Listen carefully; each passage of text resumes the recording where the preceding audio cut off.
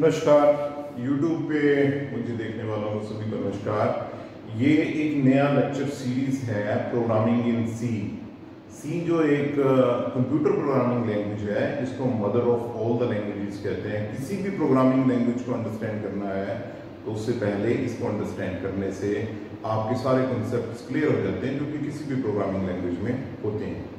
तो अभी पॉइंट पे आते हैं कि इस वीडियो में आप क्या देखने वाले हो? इस वीडियो में एक इंट्रोडक्टरी वीडियो है, जिसमें कि कितनी तरह की प्रोग्रामिंग लैंग्वेजेस हैं कौन कौन सी प्रोग्रामिंग लैंग्वेज है, और एक बात यहाँ पे कह दें कि इसके कंसर्न क्या है। Right no two things are here one is the desktop या कंप्यूटर जिसको कहते हैं आप, जिसको सॉफ्टवेयर कहते हैं, और दूसरा मोबाइल जिसमें कि एंड्रॉयड या आईओएस या विंडो उसमें मोबाइल एप्स होती हैं। ये सारी की सारी जो डेवलप हुई होती हैं वो किसी ना किसी प्रोग्रामिंग लैंग्वेज में होती हैं। यदि आप इसको अंडरस्टैंड कर रहे हैं इसका मतलब है कि आप प्रोग्रामर बनोगे आप ऐसी एप्लीकेशन को डेवलप करोगे। ये डेवलप नहीं करोगे तो आप उन चीज़ों को अंडरस्टैंड अच्छे से कर पाओगे और जो कि आपके लिए काफ़ी हेल्पफुल होगी। तो ये जो कोर्स है यही यही कोर्सेज के आ, में आता है। इन ऑल इंडियन और the world universities this course is the part of a computer science जिसमें कि ये रहता है।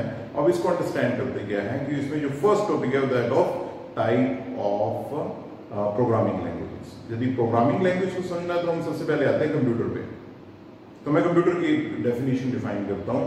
Computer is an electronic device which takes the input process it and give us the meaningful information यदि इसी computer को मैं शो करता हूँ, इस डायग्राम की हेल्प से। जिसमें कि हार्डवेयर है एच डब्ल्यू हार्डवेयर। हार्डवेयर को जो कंट्रोल करता है that is a operating system और जो ऑपरेटिंग सिस्टम आपको अलो करता है एप्लीकेशन सॉफ्टवेयर को यूज़ करना। और यहाँ पे मैं बात करूँ, यदि मैं विंडो की बात कर रहा हूँ विंडो की बात कर रहा हूँ तो ये ऑपरेटिंग सिस्टम विंडो के साथ जो एप्लीकेशन आती हैं ऑपरेटिंग सिस्टम मतलब विंडो विंडो जैसे 10 चला हुआ है। ये एंड्रॉइड की बात करूँ तो एंड्रॉइड एक ऑपरेटिंग सिस्टम है बट ये मोबाइल का है। आईओएस की बात करूँ तो उसका ऑपरेटिंग सिस्टम है। मैक ओएस है। ऐसे की लिनक्स एक ऑपरेटिंग सिस्टम है। उसके ऊपर जो सॉफ्टवेयर होते हैं, उसकी बात एस मतलब सॉफ्टवेयर जैसे M S Word Excel PowerPoint VLC Chrome ये सारे के सारे इसमें आते हैं सॉफ्टवेयर में। और साथ में मोबाइल में जितनी भी ऐप है, चाहे वो एंड्रॉइड है विंडो है आईओएस है, वो जो एप्स है, वो भी क्या है, इसके ऊपर आती है ऑपरेटिंग सिस्टम के बाद आती है, उसके बाद उसके होते हैं यूज़र्स तो इन सॉफ्टवेयर को बनाने को ही हम क्या कहते हैं? प्रोग्रामिंग यदि मैं प्रोग्रामिंग की डेफिनेशन को डिफाइन करूँ तो क्या कहेंगे हम? It is the process of writing the code day to day life में यदि हम बात करें लैंग्वेज की तो English language Hindi language human understand करते हैं। बट यदि कंप्यूटर से बात करनी तो आपको वो लिखना पड़ेगा। And that is called code उसके सिंटेक्स है, उसकी सिमेंटिक है, उसके लिखने के तरीके हैं, जैसे इंग्लिश या हिंदी की ग्रामर होती है, व्याकरण होती है। वैसे ही उसकी प्रोग्रामिंग कंप्यूटर प्रोग्रामिंग लैंग्वेज के सिंटेक्स या सिमेंटिक अप्रोच होती है। उसको अंडरस्टैंड करना ही कंप्यूटर प्रोग्रामिंग है उसको पहले लर्न करना, फिर उसके बाद कोड करना। कोड का मतलब क्या है? सिंगल स्टेटमेंट लिखनी। और जो मल्टीपल स्टेटमेंट कोरिलेटेड स्टेटमेंट है, उसको प्रोग्राम कहते हैं। ऐसे ही प्रोग्राम जो क्लब टुगेदर होते हैं, किसी एप्लीकेशन को बनाते हैं, उसको सॉफ्टवेयर कहते हैं या मोबाइल ऐप कहते हैं। ओके अब अंडरस्टैंड करते हैं कि कितनी तरह की हमारे पास प्रोग्रामिंग लैंग्वेजेस हैं। तो दो तरह की है। देखिए यहाँ पे L L L H L L it is called a low level language low level language L का मतलब क्या है? लो लेवल लैंग्वेज और एच एल एल का मतलब क्या है? High level language high level language तो फ़र्स्ट वन को समझते हैं कि लो लेवल में दो तरह की लैंग्वेजेस हैं. One is the machine language M L machine language and second one is the assembly language machine language के कंसेप्ट को समझिए कि ये प्रोग्रामिंग लैंग्वेज कहाँ से आई जो हमारा कंप्यूटर है that is run with the help of electricity it uses the electricity then the uh, internal hardware start running and that run according to the program. Okay? तो जब हम इलेक्ट्रिसिटी या power hardware को देते हैं तो उसको हम रिप्रेजेंट कैसे करते हैं? ज़ीरो और वन में। इसको बोलते थे हम लो वोल्टेज और इसको बोलते हैं हम हाई वोल्टेज तो जो मदरबोर्ड जो प्रोसेसर वर्क करना शुरू करता है, वो इलेक्ट्रिसिटी से करता है और जो इंस्ट्रक्शन उसमें दी होती है, वो इंस्ट्रक्शन किसमें होती है?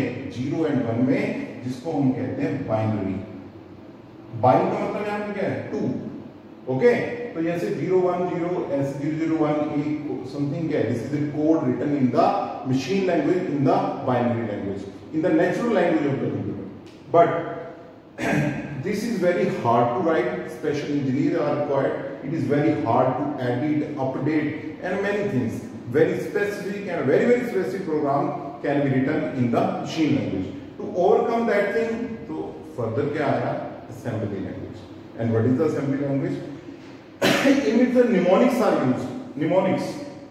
Spelling is special. M E N O M O N I C H. Mnemonics. M is silent here. Mnemonics are used. What it means here is I write one statement in the assembly language.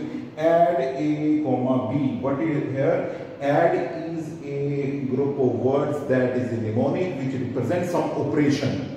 जिसके लिए zero one लिखना पड़ता था यहाँ पर क्या आ गया वो निमोनिक्स यूज़ होने लगा कोड की जगह पर and the assembly language these statements are written but in actual computer understand the zero one तो इस असेंबली लैंग्वेज कोड को कन्वर्ट किसमें किया गया था? है मशीन लैंग्वेज में and the software use for that is the assembler और असेंबलर की हेल्प से उसको कन्वर्ट किया जाता है। ये जो मशीन लैंग्वेज है, उसको कहते हैं फ़र्स्ट जनरेशन लैंग्वेज जो असेंबली लैंग्वेज है, उसको कहते हैं हम सेकंड जनरेशन लैंग्वेज उन दोनों लैंग्वेज को हम कहते हैं लो लेवल लैंग्वेज लो का मतलब क्या है? It is very close to the hardware और the architecture of the computer after the passage of that यदि हम बात करें it is the matter of 1960s and 70s जिसको हम फ़र्स्ट जनरेशन या सेकंड जनरेशन कंप्यूटर्स कहते हैं with the passage of time और भी कई प्रोग्रामिंग लैंग्वेजेस आई उनको कहते हैं हाई लेवल लैंग्वेजेस जो next programming language I that is procedure oriented language procedure oriented language मतलब क्या है कि एक पूरे प्रोग्राम को छोटे छोटे पार्ट्स में डिवाइड कर देते हैं। और जो पार्ट होता है that is called a procedure इसका रीजन क्या है? एग्जांपल के तौर पे फॉर एग्जांपल कैलकुलेटर कैलकुलेटर में एडिशन सब्सट्रैक्शन मल्टीप्लिकेशन डिवीज़न ऐसे कुछ बेसिक बेसिक ऑपरेशंस होते हैं। यदि हम कोड लिख रहे हैं तो एवरी एडिशन के लिए एक डिफरेंट कोड नहीं होना चाहिए। उसी कोड को रीयूज करना चाहिए हमें। And that approach is called the procedure oriented approach when a particular program is divided into the small parts, which is called the procedure, और इनको function भी कहते हैं। और इसके एग्जांपल्स क्या हैं? Pascal C language COBOL COBOL की abbreviation common business oriented language FORTRAN formula translation totally scientific था मैथमेटिक्स के पैडोलॉजी से जो फार्मूला को ट्रांसलेट करने के लिए यूज़ करते हैं। ये जो लैंग्वेजेस हैं is are all the third generation languages उसके बाद नेक्स्ट जो approach I that is a program oriented languages program oriented languages में एक और कांसेप्ट आया जिसको हम ऊप्स कांसेप्ट भी कहते हैं object oriented programming procedure oriented की डिसएडवांटेजेस ये हैं कि ये सिर्फ़ स्मॉल सॉफ्टवेयर के लिए वर्क करता है। सॉफ्टवेयर को बढ़ाना है सॉफ्टवेयर को एडिट करना है। It is has a big problem और कॉम्प्लेक्स सॉफ्टवेयर को डेवलप करने की अप्रोच ही नहीं। तो उसके लिए जो कंसेप्ट है डे टू डे लाइफ से उठाया गया। ऑब्जेक्ट की फॉर्म में कंसीडर किया गया, यानी कि ऑब्जेक्ट ओरिएंटेड प्रोग्रामिंग जो ये सॉफ्टवेयर हैं, ये प्रोग्रामर के पॉइंट ऑफ़ व्यू से लैंग्वेजेस बनी। कि प्रोग्रामर को ज़्यादा से ज़्यादा इजी हो, आसानी हो। तो ये जो लैंग्वेजेस है बीबी विजुअल बेसिक जो बीबी प्रोग्रामिंग लैंग्वेज है, ये क्या है? विजुअल बेसिक इससे पहले जो लैंग्वेज थी, वो कौन सी थी? बेसिक विजुअल बेसिक पहले लैंग्वेज कौन सी थी? बेसिक ये माइक्रोसॉफ्ट की लैंग्वेज है।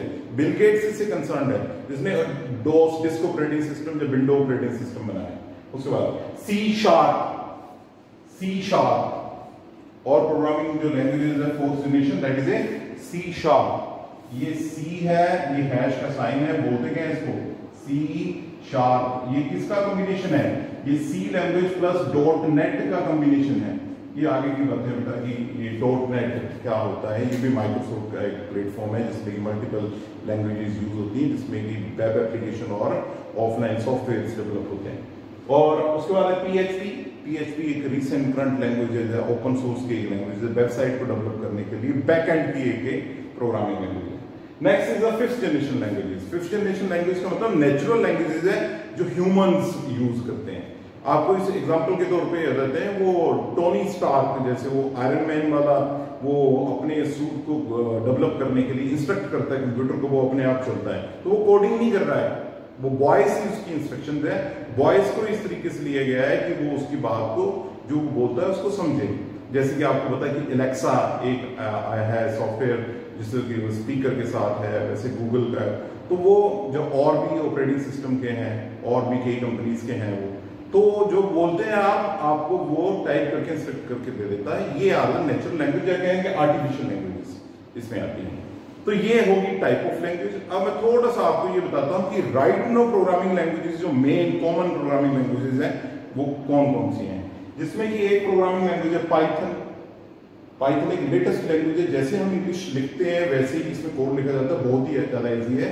आ, ये मेरे चैनल पे भी आपको कई ऐसी वीडियो मिल जाएँगी जो कि पाइथन से रिलेटेड है।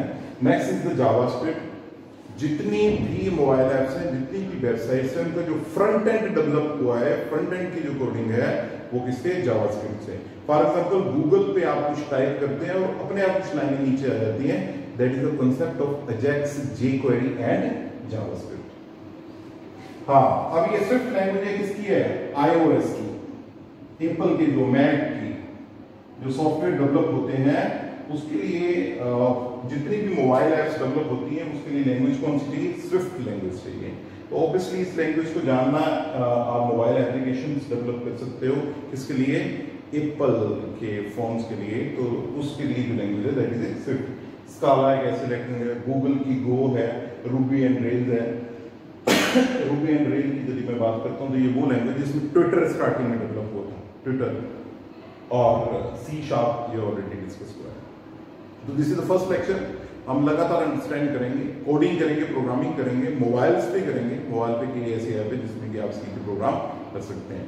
तो नेक्स्ट लेक्चर में हम फर्दर अंडरस्टैंड करेंगे स्पेशली सी प्रोग्रामिंग पे, कि वो सी प्रोग्रामिंग क्या है। Thank you